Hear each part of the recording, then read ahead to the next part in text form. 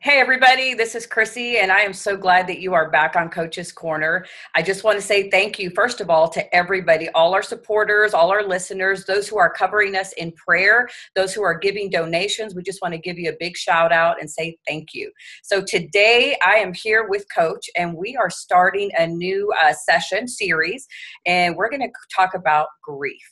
And I, I think this is really good for us, everybody, because so many times we process grief and we think that grief is just a time of when you lose a, a loved one, a parent, a, a, spouse, a child. But Coach and I are going to go into a little bit deeper topics about grief and how we deal with it on a daily basis in every area of our lives. What do you say, Coach? I think that's awesome. Um, you know, Chrissie, since we started, since you came on the very first time, I don't know if you can remember, but I can still remember. We were talking about the bondage that you were in. We were talking about even myself growing up. Yeah. We talked about bondage. We talked about the area in life that we needed to be free from. And then being able to go through the process of um, living in that bondage and then working through the process while you were coming through set free, watching your kids still grow, going through the tension, going through the misadvantages of life, and all these different things. And then we got into the whole thing of what we dove into, but it was a rough month because we were talking about triggers. Oh yeah. Remember that? yes. That was, that was a, hard. Yeah, that was, hard. that was a total like a good friend of mine, ours, Cynthia Bazin says it was a shabackle. Uh-huh. So you know, getting through the triggers and then go, going into a new season. It was the month of June. Yeah. Your daughter graduated. My son graduated. Um, Holly went through a transition. I was going through a transition and still going through that transition. You were going through the transition with your daughter, and you know, yeah. and just just life itself, and then different promotions and jobs and all these different things going on. And so I'm really blessed that you chose to talk about grieving. Yeah.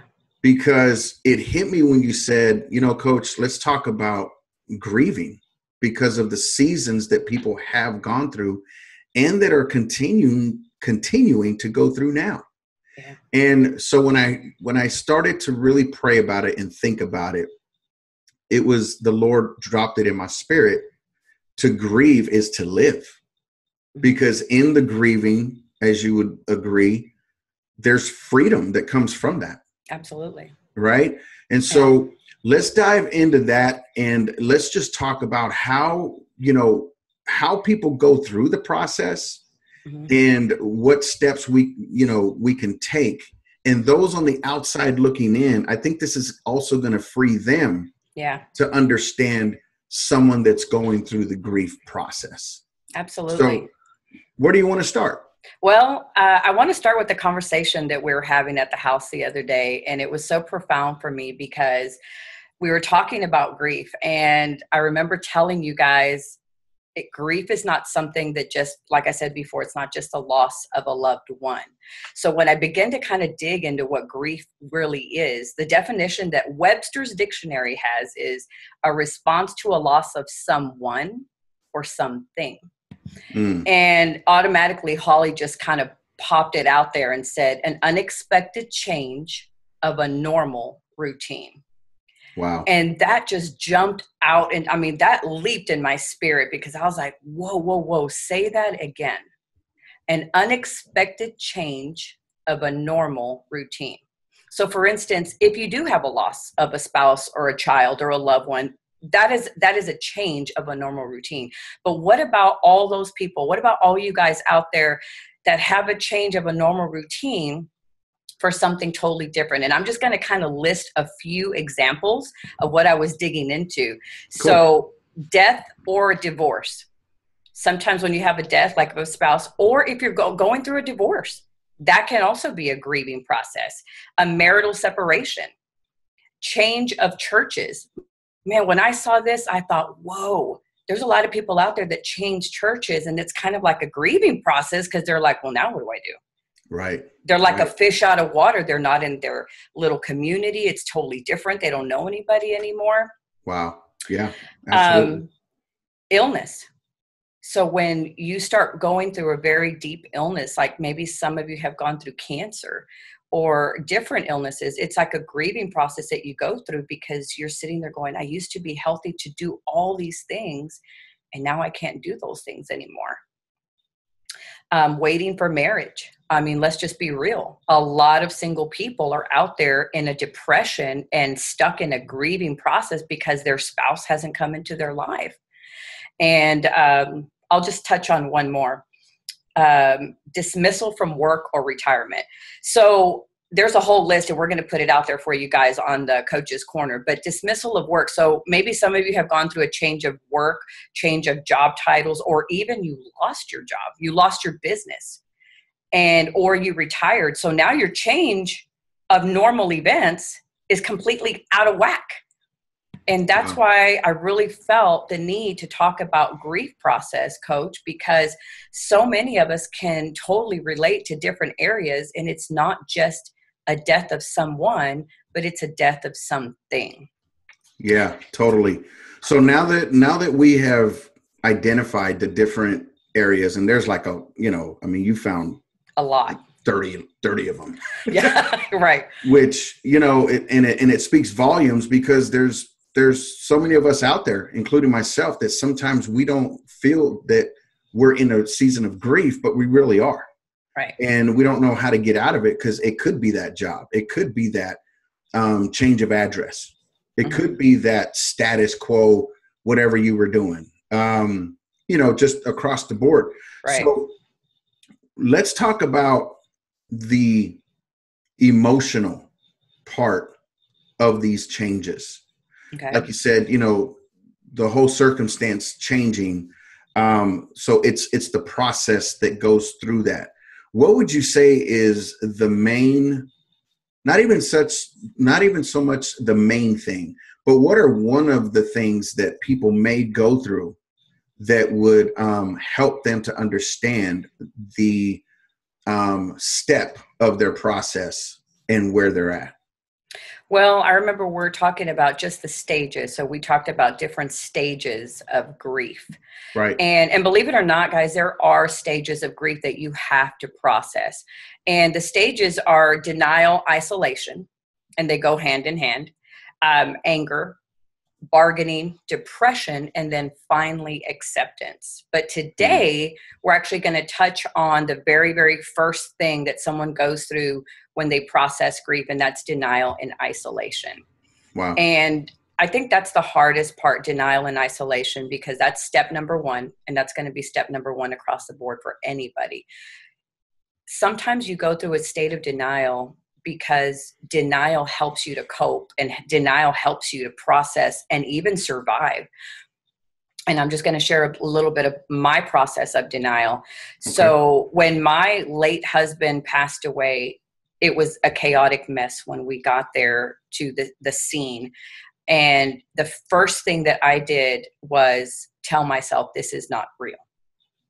This isn't true this right. is a he's faking this out like he's really gone to measures of extreme here to fake us out right and i mean you know that would be a stupid thing to look at and people are like you are crazy girl but let me tell you that is the only thing that kept me in a in a place of of sanity in the midst of insanity and right we all go through denial processes. So, for instance, I'm just going to give an example. So, if you go through a divorce, right? I have a good friend of mine that went through a divorce not too long ago, and she's like, "Well, I don't, I don't really care.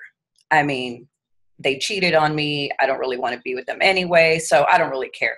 And, and to be quite frank, you do care. That hurt is very real, but you deny it to protect yourself. Right. And and that's actually um that could be a very dangerous place you know. You do have to work through the denial. You have to work through that because if not believe it or not coach if you don't deal with the denial you're going to go right straight into the isolation. Totally. and that's what i did and you're you're very aware of that.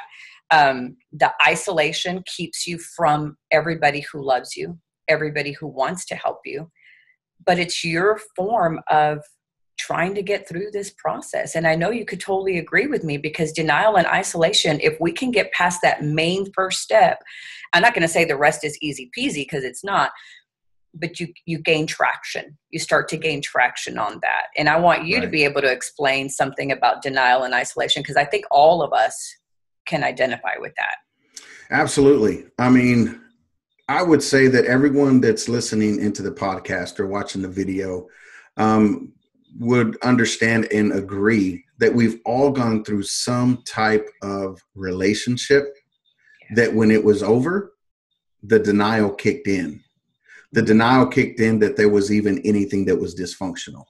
The denial kicks in of of even just a breakup. And I think just from my experiences, I think we want to hang on to the person in this place of well, we're still friends. Right. To me, that's still part of the grieving process because you still can't let go of something that's that's there. Right. You're you're still trying to create something or hold on to something that is not going to go anywhere past the friendship. Now, I get it. There are some instances where they were friends before they got together. They tried being together, and then it just didn't work. It was just too brothery, sistery. so they're just like, yeah, this ain't gonna work. You right. know, every time I kiss you, it just feels like I'm kissing my brother or my sister. You know what I'm saying? Whichever end it's on. So the the truth is is that the denial, I believe, can be in so many different mm-hmm. circumstances, whether it's death, widowed, divorce, a job, friendship, across the board. And I like what you said about when you deny so much, then then it goes into the whole isolation area. Mm-hmm. My isolation and my denial when I was younger, the you know, those of you who are listening know that my stepfather molested my sister. We've been healed from it. We've moved on. Um, it's you know, it's t- 25 years later, mm-hmm. and so you know we've gone through that process, each and every one of us. Each and every one of us have gone through it differently. But the the truth is is back then when i was that 12 year old boy that 13 year old boy it was i was in a place of isolation within myself. And the way that i expressed myself was through art. I did a lot of graffiti and learned how to do the graffiti. And that was my pastime that was where i went that was my own and I found something that no one else could do in my family. No one else could touch it. You follow what I'm saying? So so that became my isolation. That became the playground that only I can visit and those people that were in my life, not not my family, but those who were graffiti artists also, we could all come together and understand each other yeah. in the process of of artwork. Whether they were going through something or not i could still relate and and and isolate myself in a place with someone else that understood who i was. Right. They didn't have to understand what i went through. Right. I didn't even have to talk about what i was going through. Mm-hmm. i was able to live in a world that only they knew.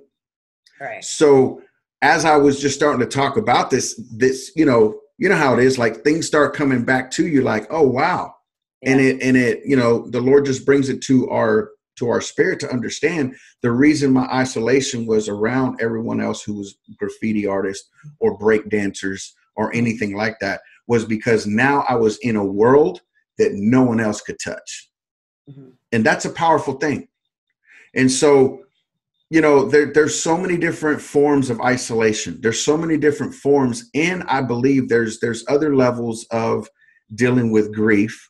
Yes. And i really don't matter of fact i'm going to let you answer that. Do okay. you think that that we have to start with step one is denial?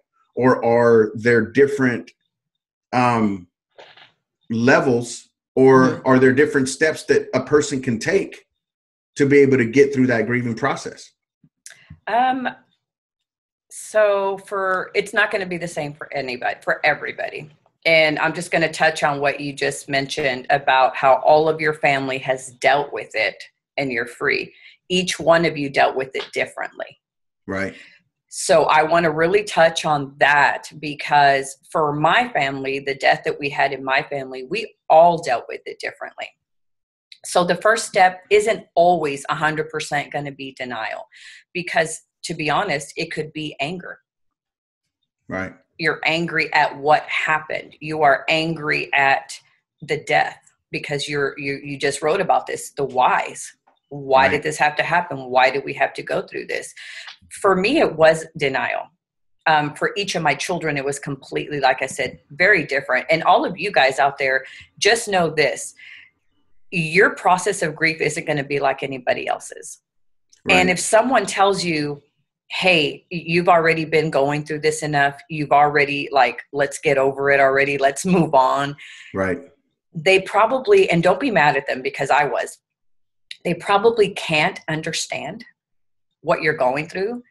And I'm just going to be very real because you know I'm just going to put it out there. But I had a lot of people that came to me and would hug me and say, well, because, you know, they didn't know about the situation and how my late husband had molested our daughter and sexually abused me. They they didn't know.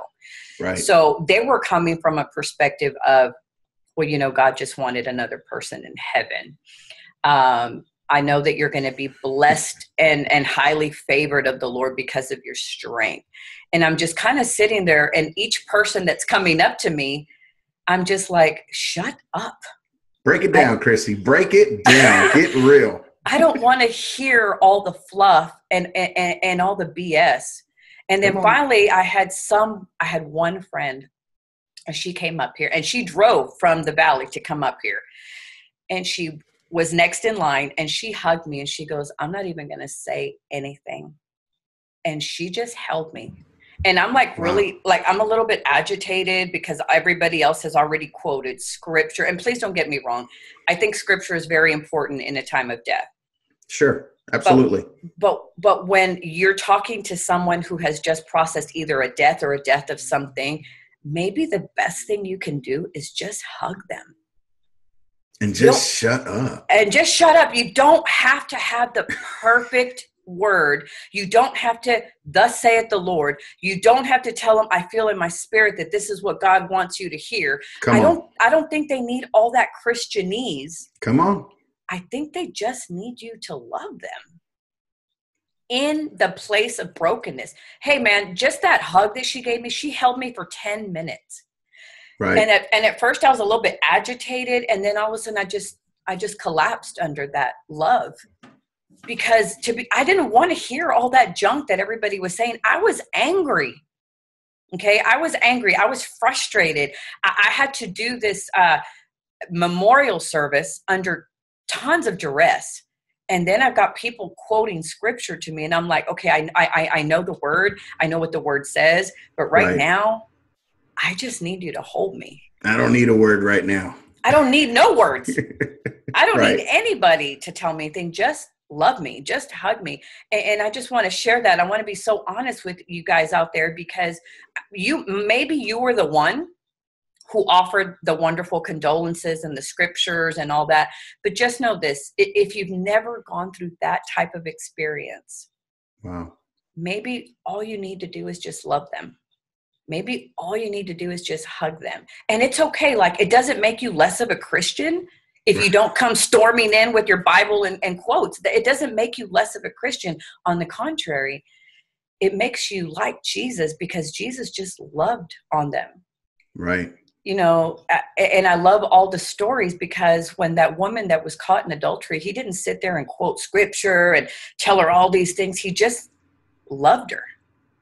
Right. And picked her up in her brokenness. So that's where i'm coming from. So i i just really laid it out there and I, I think you did. You was preaching which is I a good preaching. thing. yeah. is a good thing. So what we're going to do really quick is we're going to put a pin in that topic right there. I actually wrote it down right after you said it okay. because when per when when words pop out at me then it's like okay we need to address this so loving people in their brokenness so, guys, we will be right back, and we're going to put a pin right in what she just said. We're putting a thumb pack, thumb thumbtack right in her forehead. And we're going to wait and we're going to take the small commercial break and uh, we'll be right back and we're going to break down loving others in their brokenness. Yes.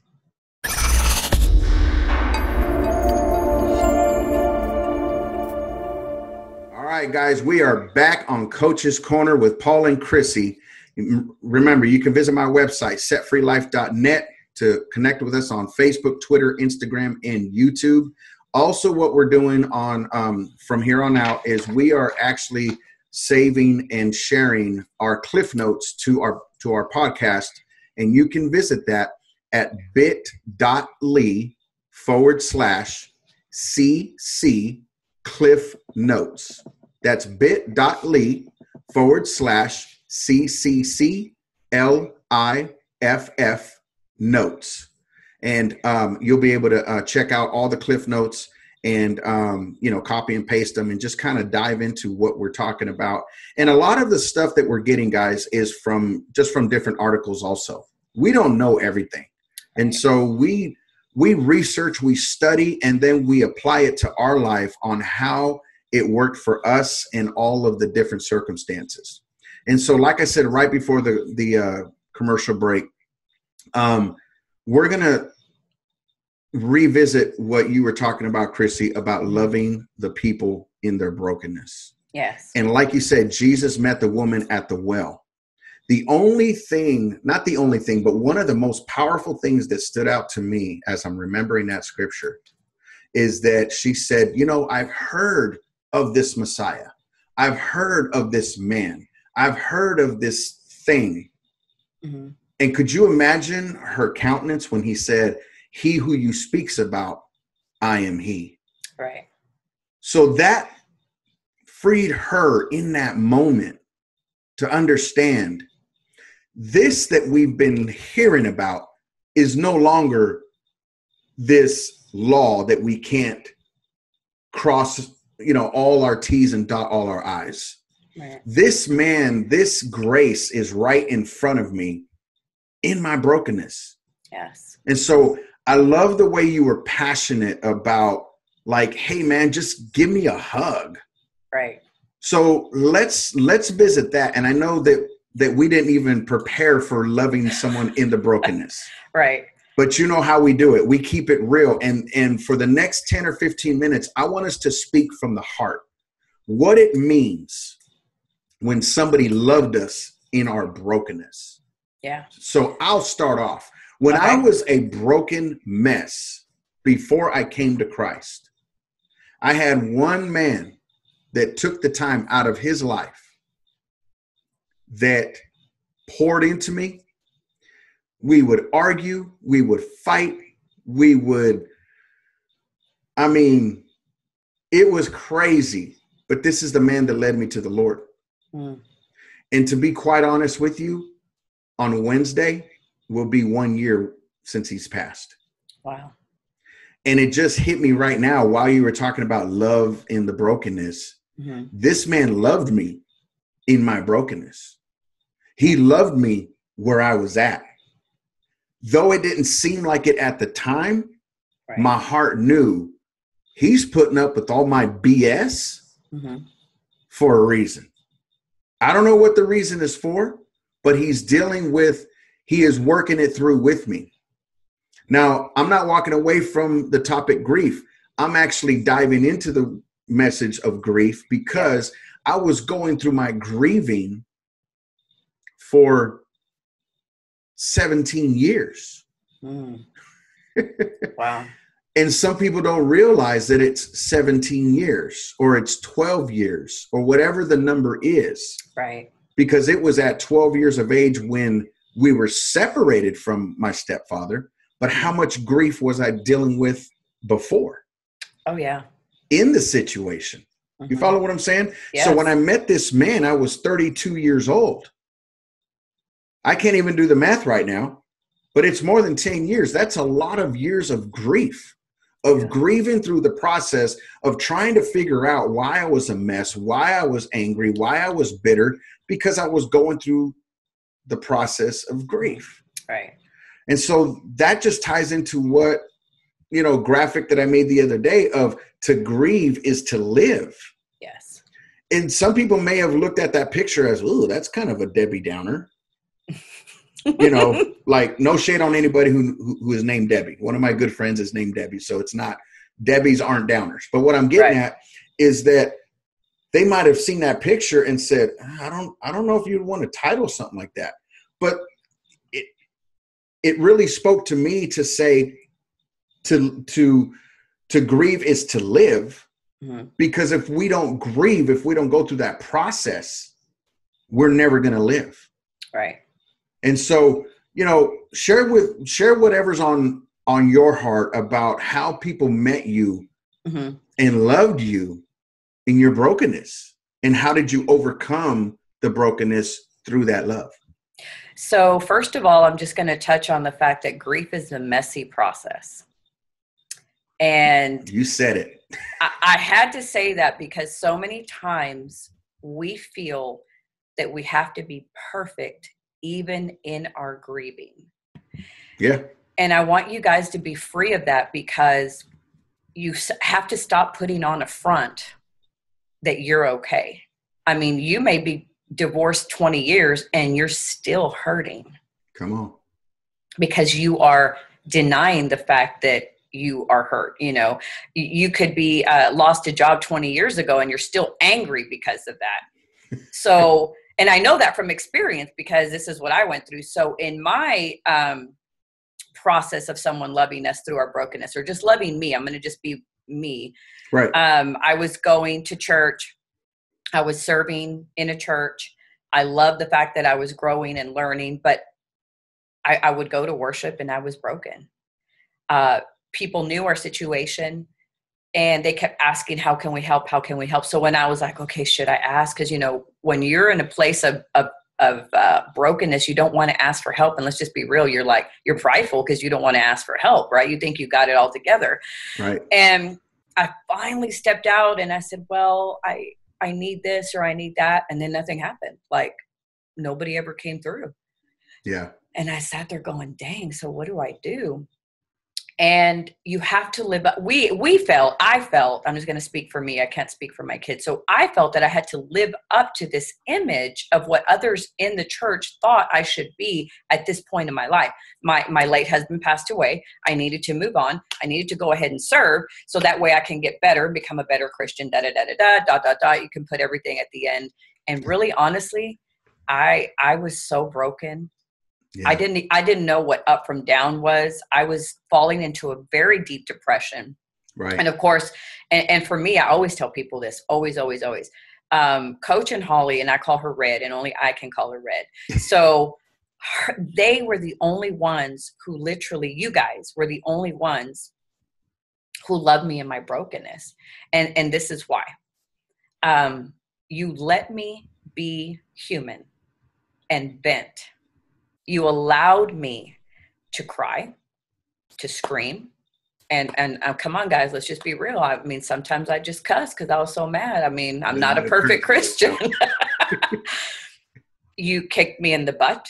You picked me up when I fell. I fell a lot. I, a lot of people saw me from the outside thinking, maybe she thinks she's all that. She doesn't really talk to anybody. And to be honest, guys, I was just broken. You were hurting. I was hurting so bad. I didn't know how to communicate with people. And you guys really taught me just to be real, just to be honest. And I remember when that mask, and I've talked about it before, and, and I love to still talk about the mask, but when the mask finally came off, it was like, oh, so there's Chrissie Moore. Right. Huh. I haven't seen her since, I don't know, I was 19 maybe. Right. So I was living in a facade, and everybody on the outside was seeing a facade, and that's not who I was. Right. But we feel like we got to be this perfect Christian, this perfect mother or father or, or daughter or son. And and and to be honest, God just wants to meet you where you're at, just like the woman at the well. I mean, you just said it. He knew everything about her. He knew all the men that she'd been with. It's not like she could hide it from him. And he even told her about the guy she was with now that weren't even married. Come on. So he knew everything about her. And, and, and not only that, she ran and told the whole town. Like, what if the whole town didn't even know about her? Right. But she ran and said, Hey, man, there's this guy, and he just told me everything I ever did. He just read all my mail and he still loved me. And he still loved me. And that's the part I love because when you have those people that God works through, and I'm going to say that again because so many people think that these people are the saviors, but they're not. It's really the Holy Spirit and the Lord working through you and Red. That's right. And helping me. And you love me right where I was at. It was like that was a breath of fresh air because Amen. it doesn't always happen that way, guys. And I feel in my spirit that maybe there's some of you out there that are going through the same thing or have gone through the same thing. You haven't lost a spouse or a mother or a father, but people have hurt you and right. they said, Hey, man, I've got your back. I'm going to be there for you. And then they split. Yeah. Man, yeah. that's a lot of pain because now you're like, I'm never going to trust anybody again. Well, you know, that's that's the part that will taint a person across the board because yes first they lost their trust with the one that they loved mm-hmm. and now these people are coming into their life saying you can trust me and then when you need them for something you can't trust them so it's a double whammy so now yeah. i believe the person reflects on themselves then there's something wrong with me right. because this continues to happen in my life and so I think it's going to encourage on both sides. Yes. Number one, be careful who you put your trust in. Yeah. And those who are saying you can count on me, choose your words. Right. Truly choose your words. I've learned in the process, Chrissie, that I don't obligate myself like I used to. Mm-hmm. I used to be an open book and just say, hey, you know, whatever you need, call me at the end of the day, you know, those three o'clock in the morning calls, mm-hmm. If you have 10 people doing it, you're going to burn yourself out. Oh, heck yeah. Right? Yeah. So, you know, you've seen me go through this process of reducing the noise, yeah. reducing the ridiculous, like Cynthia Bazin says, reduce mm-hmm. those things and funnel it down and get focused on what matters. Yes. And, and so, I believe that through this process, this isn't only going to help those who are going through grieving, but it's going to help those who have to witness someone mm. Yes. And those words that Holly and I gave you in that that night, I could still remember that night. Like, yes. what are you guys doing here? I mean, everything's fine. Yeah. Um, that was all Holy Spirit. It's nothing that we read out of a book. Right. It's nothing that you know, I myself, you know, took notes on. It was like I'm sitting there watching this woman and I'm watching this household mm-hmm. and I'm sitting there going, someone needs to give them permission. Yeah. That it's okay to be in a mess. Yeah. It's okay to say the wrong word. Yeah. It's okay to throw up the one way sign. it's That's okay true. to say this is this is this is not working. Church ain't working. God's not working right now. It's okay for us to release people mm-hmm. to cry. Yeah. To have that moment of silence, to have that moment of, you know what? I'm not going anywhere, but right now I just need to be isolated for the next day. Can I just be isolated? Yeah. It's okay to go through those processes. Now, if you feel in your spirit that that person is not quite there to be mm-hmm. isolated in this crazy moment, then yes, we must take precautions. Or if we're hearing right. someone say, you know, I just want to end it all. Right. Okay. Well, let's let's really deal with that, and really just pick up the phone mm-hmm. and be concerned, and call nine one one.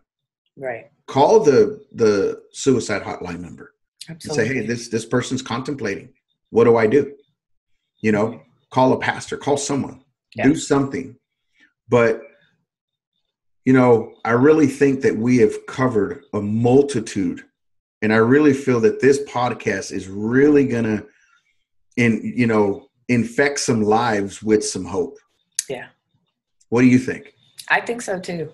I think that just being real and, and getting alone with God on your own, not with a group of people, not what everybody else thinks, but you just going to him and, and being real with him right. And, and you just said and, and, give yourself that permission everybody. Give yourself that permission to not be that perfect mother father friend. You know you're in a place of, of brokenness and you're going to go through the process. It's okay. Right. It's okay to cry. And i love that you said that because sometimes so many people including myself thought that if i cried it was a sign of weakness. But when i cried that day that wasn't just a little boo-hoo and it, i had to keep my emotions right now because i remember that cry came from so far down in my belly that i literally screamed it out. I don't know how to grieve someone that i hate and someone that i loved. And when i voiced that out into the atmosphere it's as if a, a ton of weight had lifted off of me.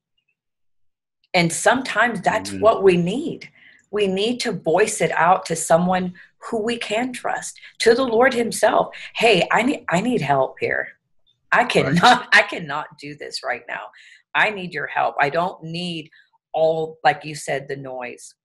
Yeah. I, I need i need the still small voice. You know i don't i don't think there's any true bullet point outline remedy right. that can fix a grieving process Mm-hmm. But we do know the one answer, and that's Jesus. Yes. That's being able to count on him and watch him work through our life. Yes. Instead of having to deal with grief, we walk through this thing called grief. Yes, amen. And so, you know, we just speak hope into the atmosphere. Um, as as we wrap this podcast up and as we wrap up this this this topic for this week, we're just going to believe that through these words yeah. as you said give the give yourself permission to mm-hmm. cry. Give yourself permission to grieve. You may have to go through that process guys. Even in something that you feel that isn't affecting you there just may be something that is still affecting you. And so we are going to bring hope number one by saying this. Number one give yourself permission. Mm-hmm. what was bullet point number two it mm-hmm. was actually number two was give yourself permission. The number okay. one was face your feelings. Yeah, admit, recognize. Admit, yeah, recognize. Recognize that that you're in a in a state of grieving. Number two, give yourself permission to to grieve. Yes. What else? What and number and number three is express yourself in a healthy way. So for some people, it could be like Paul did graffiti and art. You know what yeah. I mean? For some people, it's journaling. For some people, it's exercise. Yeah. For some people, it's gardening. But that's a healthy way to just go dive in and do stuff and, and you're processing as you're doing. It's not like you're forgetting about it, you're just processing it, but you're not bottled, bottling it up inside and not doing anything about it. You're going through the motions, not even going through the motions, you're going through your healing. You're going yes. through through your process. Yeah. And so guys, we're going to wrap this thing up. Chrissie, I am so grateful for you sharing and being transparent and really opening up your heart in this podcast because it is a a real problem that we have. Yes. And like we always say, we're real people with real problems that want real results. Yes. So guys, if you need a coach, if you need a mentor, you can reach me at setfreelife.net. You can go to my email, set for uh, recovery coach at setfreelife.net reach out to us. Chrissie, why don't you give them your your information also so they can reach you? Mm-hmm. So you guys can reach me on my Facebook like page, which is Broken Beautiful Ministries, or I have a blog that I do, and it's uh, bit.ly forward slash Broken Beautiful blog. And please reach out and share your comments. I'd love to hear from you. Awesome. So you heard it, guys. And remember, life is better when you're laughing. Once again, this is Polly Barra, your life recovery coach helping you experience freedom so that you can walk out your God given purpose. We'll see you next time, guys. And remember, everything is a process. Walk through it. Yes. And if you need us, but most importantly, pray. Yes. If you need us, reach out to us. And uh, we'll see you next time. Bye.